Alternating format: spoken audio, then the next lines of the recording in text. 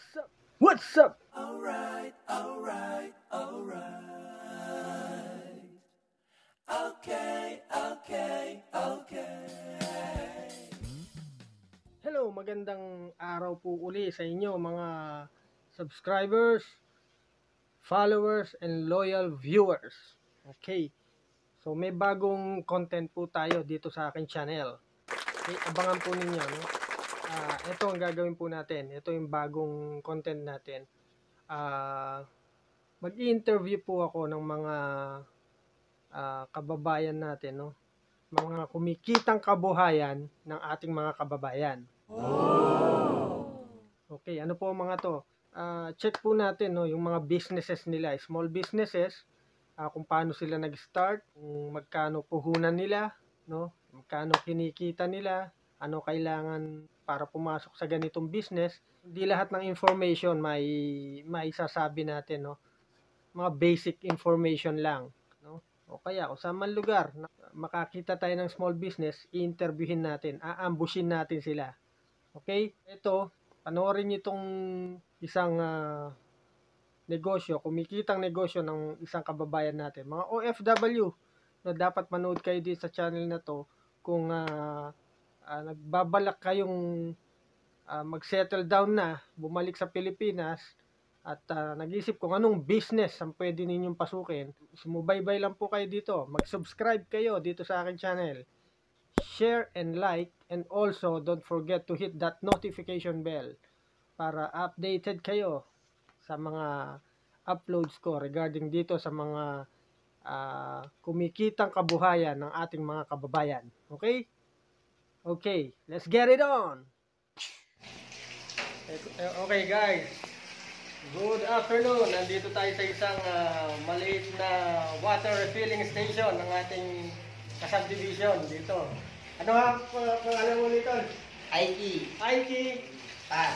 Aiki Tan, oh, dito sa Verde Heights, San Jose del Monte, Bulacan. Siya po ang may-ari ng ah, water refilling station ngayon. Sunday ngayon, kaya wala yung mga tao niya.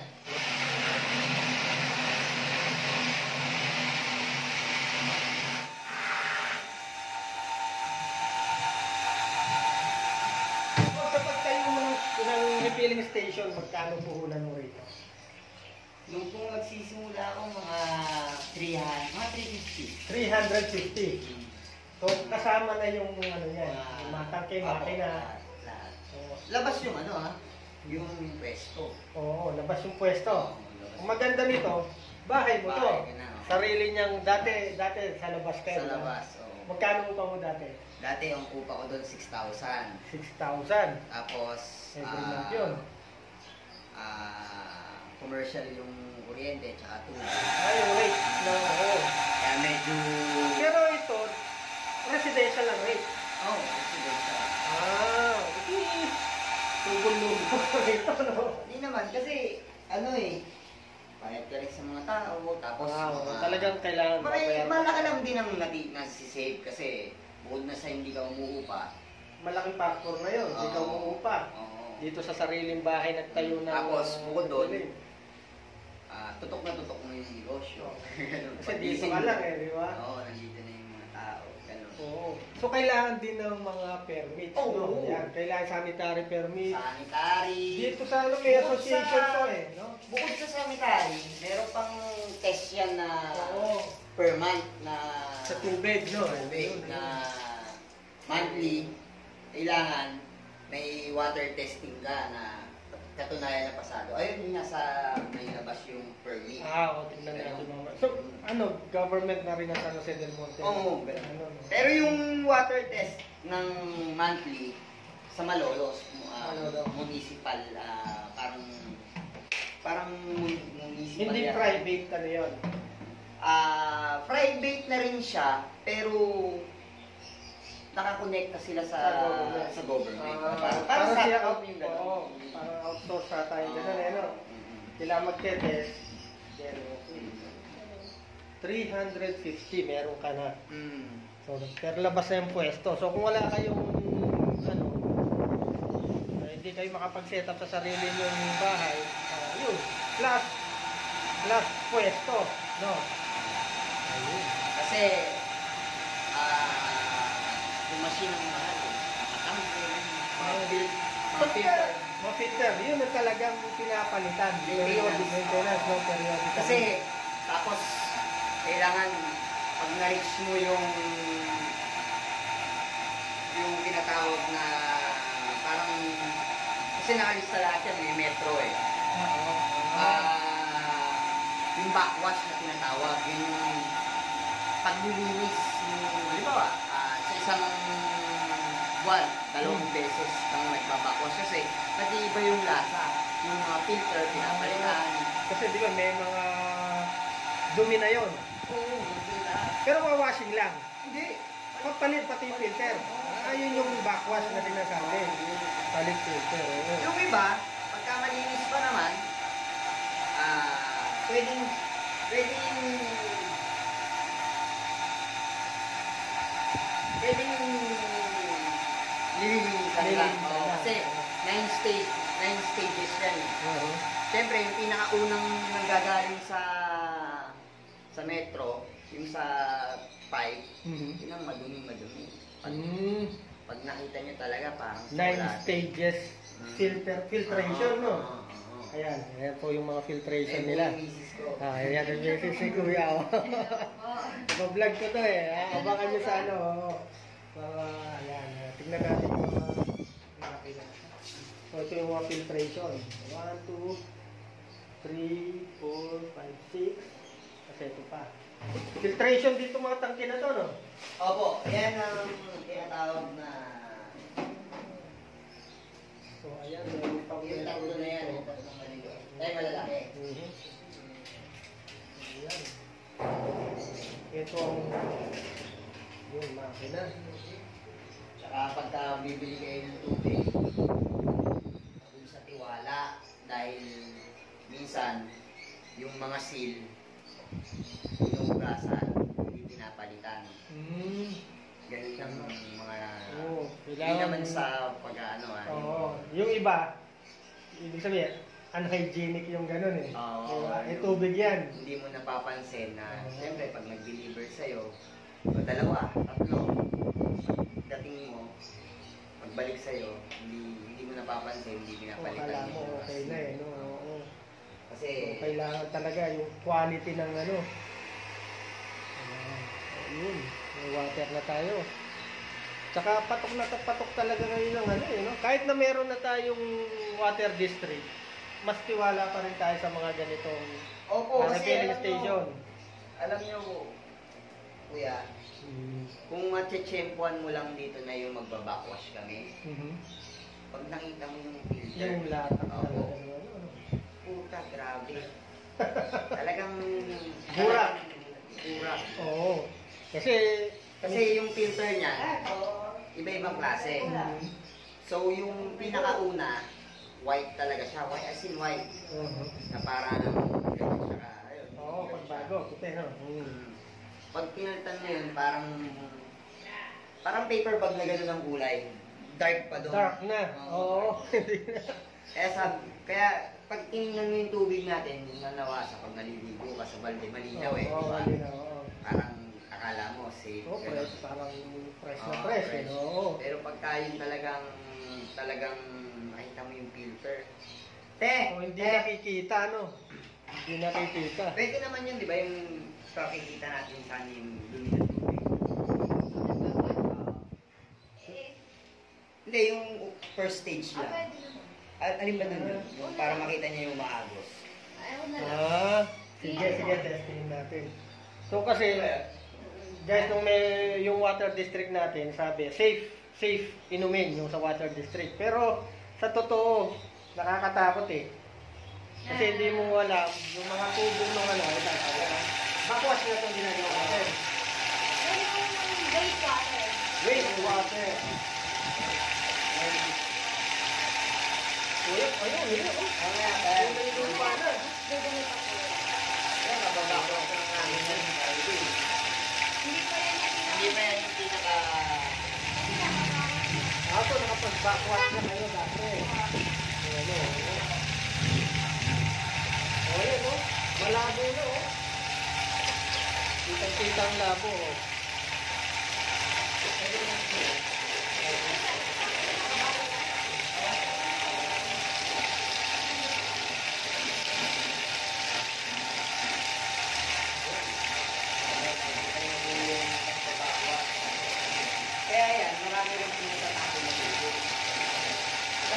Tapos itong dalawang tangke na yan. Yung paglilinis lahat ng mga. Ah, pag nagbawas ko, nasa ano, ah, siguro.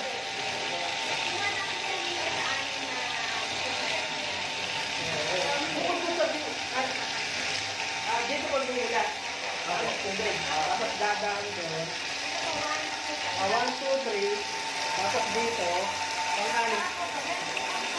Oh, yun ba yung ozone? UV light. Pagkatay ng bacteria.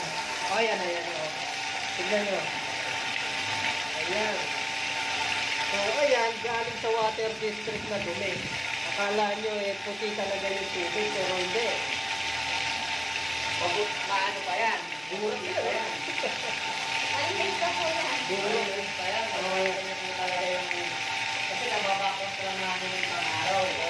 Pagka mga isang linggo na, na talagang running kami. Oo.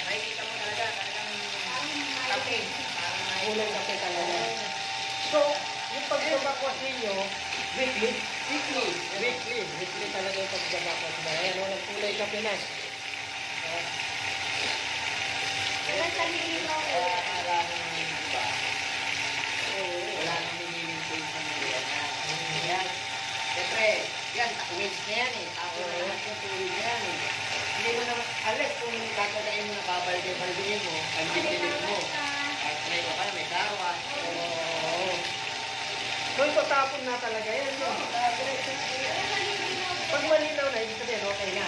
May oras po na may, may 10 uh, 15 minutes. 15 minutes. Bawat table. Ay, isang oras. Ibig sabihin, kung hindi kayo magbabakwas kayo, talaga ligo. Opo, kasi pag pagka pagka pagka tingnan namin yung yung halimbawa malakas kami yung mula to. All due Kami araw-araw. Kasi may metro kami. Pag na-reach mo yung ano ba, ah 200 gallon, gano'n, 300. Ang bakot na yun kasi ah doon na yung na. Okay. So, naka-meter, pag nag-reach na ganong, ano, ah, tawag dito, yun, lang galon, no? Magbabakwas na sila. At ito yung ano, yung, yung lagayan ng asin, ng salt na hindi yung ordinary salt ah. May ganyan pa? Industrial salt. industrial salt. Para saan yan? Pantanggal po ng lansa ng tubig, Ah. dumi, dulas, ganun po. Kaya pala, no? Bukod doon sa mga filtration na yan, so meron pang, sabihin, dadaan, mm, nahalo yan, Oo, nahalo. nahalo siya. Nahalo, para matanggal So, ang sabi langsa. na minsan, nagkitikiti daw ang tubig, hindi po totoo yun. Kasi bago po lumabas dito, patay na yung kitikiti doon. eh. Ano, ang nangyayari po doon, kapabayaan sa galon. Oo. Pag hindi po nalilinis mabuti or walang takip, Naka-stack. naiiwan, o nakababa, Sana madali po naman kasi yun eh. na-contaminate Oo. yan. Papatukan ng lamok. Sa initan, ako yun. Pag nakita niyo po Tsaka minsan kasi langgam dyan, pumapasok, may ilog din yung langgam dyan. Minsan nag, nag-ano sila dyan eh. Kaya pag minsan ako, pag binuksan ko, kala ko galing sa loob, eh. hindi pala. Dito, dito sa, sa bunganga rito, nag stay minsan ng mga langgam dyan eh. Kaya kung sa ina-advise namin na huwag ilagay yung mother sa labas. At saka sa malapit sa initan ng tubig. Arawan. Na arawan. Kasi po plastic container yan. So, ang ang kita nyo sa isang araw, depende rin yan sa ano, o Opo. regular talaga yun. Depende. Depende po sa Panahon. panahon. Marami pong pinag-ano. Ngayon, magsa-summer Sa ngayon. summer, uh, po, siguro medyo Oo, medyo malakasama na ngayon. Pag tag-ulan, Konsumo ng tubig pag summer sa isang bahay. Tsaka, ayun, pakikisama sa ano, sa mga tauhan ng number one. Oo, Kasi, kailangan y- yung mga staff mo. Kailangan sila, bukod sa may, mon- may monthly salary sila, Oo. May commission. may commission May sila. commission pa. Para, Ah.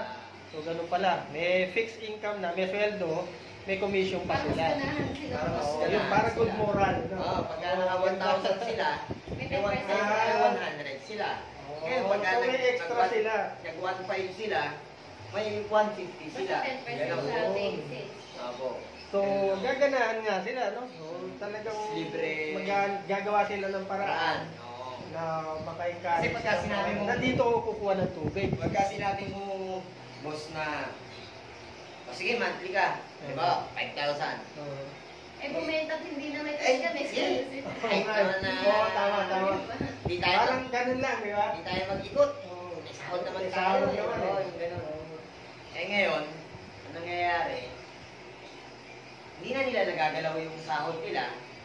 Yung, Libre sila yung sa Commission na lang nila. Commission, Oo, no? Kasi libre naman sila sa mga pagkain. Sa Oo. Bali lang ang tao mo dito.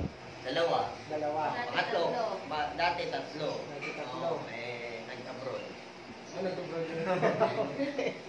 Greener pasture ang gusto niya, no? So, Ano pag ba, guys? dami, nandito kami dalawa. Ah, Oo. tulong na lang. Pagka, So, sa dalawa yun, ibig insufficient sa dalawa yun. oh, talagang kulang talaga. kulang. Kung- Lalo na, lalo na bukas ng maga. Matan sarado po. Yun. Kasi Monday, Oo. kasi yung dapat na kukunin ngayong linggo, ah, bukas na. So, magpapago pa. Ayun, oo. Kaya pag nakita mo yung... So, oo, mga guys ha, mga tambay na may good moral character. Nangangailangan dito ng isa pang helper. Ha, dito ito sa Aquina, Aquina Water ah, Refilling Station sa loob ng Verde Heights. Verde Heights, Gaya-Gaya. Dalawa si Verde Heights eh. Oo, dalawa. Oo, dito sa Gaya-Gaya. O, dito sa loob lang ng ah, subdivision. So, nandito tayo. So, magandang negosyo to. O, sa mga OFW na nakauwi na. Puhunan dito 350 or 200 to o depende no. Depende. Pero ito na yung the best na ano, Ako. the best na setup no. Yung mga tangke, makina, filtration. Saka importante yan. Makikita nyo naman malinis. Oo, kailangan malinis talaga. Saka ayan, mga lisensya nila no from the municipal uh, government. Ayan. Kasi ngayon, tubig yan eh. Yan, yan. Parang Oo. pagkain. Ano yan eh. Sa tubig talagang ano, in demand talaga. Lalo na ngayon sa Manila, dito sa mga provinces. Hindi kagaya dati, lumaki ako sa Pampanga, gripo lang eh. Ah, eh, kaya ganun mo lang yun sa Ah. gripo, ganun, di ba? Ngayon, madalang na Oo, oh, ano ngayon, mga kabataan ngayon. Kahit ako, ayoko na ng gano'n, mas gusto ko na dito. So, yung sinasabi ng mga water district, okay, safe yun, pag gano'n. Pero, pag dumaloy na yan sa mga tubo, sa mga lines, may mga crack yan eh. Lalo na nung... sasama ng dumi yan. Contaminated. Lalo na yung... Hindi mo may iwasan yung may nasira silang pipe. Oo, Di ba nawawalan tayo ng tubig? nawawalan. So, papatayin nila sa main. So, tsaka nila idudugtong yung kung gagawin yung mga pipeline nila. Nakikita nyo naman yan eh. Pag naliligo kayo, di ba, ang Oo. tubig, ang labo ng tubig. Mm. Bukas mo na. Pag Kulay brown. Oo. Tsaka na lang, tsaka na lang siya babalik sa natural na tub na linaw. Oo. Pagka naitapon na lahat yun. Kaya kung, kung tubig, inumin, dito na kayo sa mga ganito. At yan ay 25 pesos. 25 pesos. 25 pesos, pwede kayong Tumawag. Tumawag, tumawag, Tumawag. order, di ba? Nagte-text, di-deliver na nila. So kung kayo, malapit lang kayo din sa vicinity ng San Jose del Monte, Bulacan, no? dito sa Gaya, Barangay Gaya Gaya, pwede kayong order. Ayan, napakita na natin kung gaano kalinis ang pwesto nila. No, guys, ayan. Okay, pati sa flooring, talagang, yan ang requirements talaga eh, sa isang water uh, refilling station. Kailangan dapat malinis. No? So, Tol, maraming salamat sa konti thank you. kaalaman. No? Thank Yung mga magne-negosyo nating uh, mga kababayan na gustong sumabak sa ganito. Walang lugi sa ganito eh. Eh, puhunan ka lang, i-maintain mo lang yung kalinisan at saka dapat yung mga tao ninyo. eh. Oo, tsaga. Tutok talaga, no? Kagaya ni Kuya, talagang dito lang siya. Pero kumikitang kabuhayan. Ah. Bukod pa dito, may business ka pa. Wala na. Wala na, no? Pero may mga sideline ka. Oo, ganun lang. Yung mga nagsasabong din. o, konti libangan. Konti libangan. Oo. So, ayun, mga subscriber ha. Kung di pa kayo nakapag-subscribe, yung mga bagong manunod, subscribe kayo dito. Tol, subscribe ka rin ha. Dong Kura ah, sa YouTube channel. Ah, like and subscribe. Okay. Salamat po. Thank you, thank you. Okay.